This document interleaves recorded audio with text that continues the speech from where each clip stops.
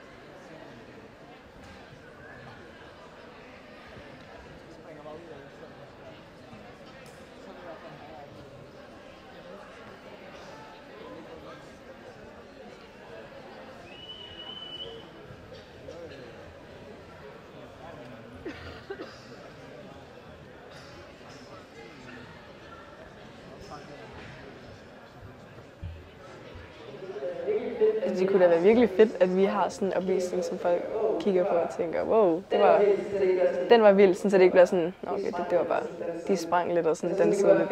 Altså sådan, det kunne være fedt, at den var sådan lidt, lidt vildere. Øh, men nu har vi jo også fået aerials og sådan nogle lidt nyere ting, som gør, at den kunne blive lidt mere, altså sådan skille sig lidt ud for de andre år og for de andre efterskoler og sådan noget lave opvisning sammen med hele skolen, det giver bare sådan en speciel følelse. Altså sådan, at det er sådan, vi gør det sammen, det er vores ting, det er noget, vi har arbejdet på sammen igennem hele året. Og sådan set frem til. Og sådan, jeg har jo også set rigtig mange gymnastikopvisninger, også med Sorø Gymnastikefterskole i forrige år, og det ser bare mega fedt ud, så det betyder også meget, at man kan få lov til at være en del af det. Jeg føler, jeg vil rigtig gerne stå den der følelse af, at nu har vi brugt så lang tid på det, så jeg vil rigtig gerne sådan være virkelig stolt. Og sådan. Jeg føler, at jeg har gjort mit bedste, og det er jeg også sikker på, at det vil jeg, det vil jeg rigtig gerne, og jeg håber, at det vil se rigtig fedt ud, og sådan, at alle, ikke bare kun mine forældre vil klappe, men sådan, alle vil sådan være stolte af det, vi har lavet, på grund af, at vi har arbejdet så længe med det, og så har vi været udfordret med corona. Øhm, jeg tror, den største udfordring bliver, at vi har mange sådan, forskellige ting. Vi har noget med nogen, der skal lege rundt på bord, og nogen, der skal op i nogle silks og nogle hoops. Og det bliver helt klart øh, super svært at sætte sammen. Stemningen er sådan noget helt anderledes, når vi opviser sådan, alle er glade, og der er sådan, man kan godt være lidt nervøs, men det er kun på en god måde. Det er mere følelsen, når man skal tage ind på gulvet, sådan spændingen, når vi alle sammen står der, og sådan, man har lidt sommerfugle i maven og sådan noget. Og så der i slutserien, når vi sådan går i gulvet, og der bliver klappet og sådan noget der. Det giver virkelig den fedeste fornemmelse, det glæder jeg mig helt vildt til. Nok se mine forældre være glade for at se mig på gulvet, og at øh, vi alle sammen ligesom har gennemført det, hvis man kan sige det sådan. jeg jo altid være stolt af at være en del af lige netop SG, fordi SG er jo en super fed skole. Jeg elsker at være her. Jeg elsker stedet. Jeg elsker skolen. Så bare at kunne repræsentere skolen, synes jeg er mega fedt. Og jeg vil være super stolt bare af det. Det er meget overvældende, vil jeg sige, fordi man har været hjemme så længe. Men det er også øhm, på en eller anden måde, så er det også lidt rart at være tilbage til det, man ligesom vil kalde for ens familie for i år. Og jeg tror bare, at man sådan skal tilbage nu og bare nyde den sidste tid, man har. Følelsen af sammenholdet og det med at gå på gulvet og præstere, det er en følelse, jeg godt kan lide. At være sammen med mine venner om noget, øhm, og se glæden i andre folks øjne også, øhm, og glæden i mig selv i at gå på gulvet og vise folk, der kigger på, øhm, hvad vi har gået og knoklet på i et helt år. Det jeg får et kick af som springlærer øhm, i forhold til eleverne, det er, når der er noget, der lykkes for dem, og når de får en succesoplevelse. Og når måske endda, hvis jeg har været medvirkende til, at de får den her øh, succesoplevelse. Øhm, fordi så øh, stråler glæden ud af dem, og øh, det gør også, at de får motivation til at øh, prøve igen. Det er jo en kæmpe del, det der med at, øh, at være en del af, af nogens udvikling. Og det er sindssygt fedt, når det lykkes. Altså, der er ingen tvivl om, at det, det er den del af det, at når det lykkes, at det er det, der gør, at man, man bliver ved, og man bliver ved, og man bliver ved. Jeg kunne rigtig godt tænke mig at bare have ja-hatten på, og sådan bare virkelig nyde den sidste tid, og så jeg virkelig kan huske tilbage til, at det ikke bare var et år med øh, corona og karantæne at være hjemme, men at det virkelig har været fedt, den tid, man har været hernede. Jeg føler, jeg har lært meget om mennesker, om hvordan mennesker er, og det her med, at, at alle er forskellige, og alligevel så er vi ens på mange punkter.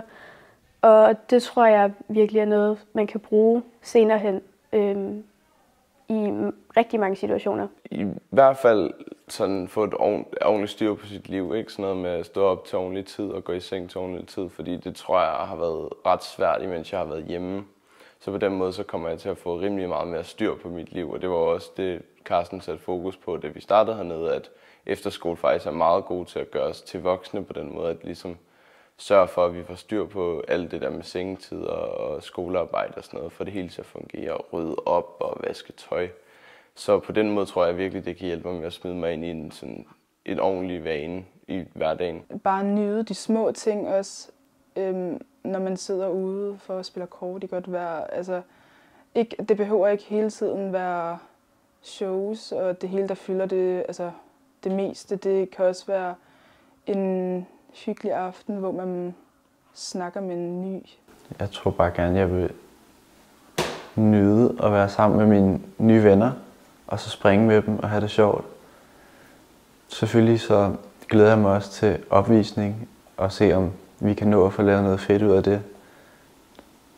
Men ellers så er det bare fællesskabet, tror jeg. Jeg ved ikke, om der er sådan en ting, der vil gøre mig mest stolt, men helt klart, når vi så har, er færdige med at lave alle opvisningerne, og fanen kommer ind for sidste gang, så kan man godt stå lidt stolt og kigge på alle de elever, der går hernede og tænke, ej, hvor er det bare en fed opvisning, vi får sat sammen, og ej, hvor har vi gjort det godt. Jeg glæder mig rigtig meget til, når vi skal lave slutserien, fordi det føler jeg, der man mærker mest fællesskabet, og kan mærke, at okay, vi er virkelig en stor efterskole, en stor familie. Og så den der følelse, efter man er færdig, så når man står der lige efter den sidste opvisning, bare i den sådan, står og kigger på publikum. Det er bare en fed følelse.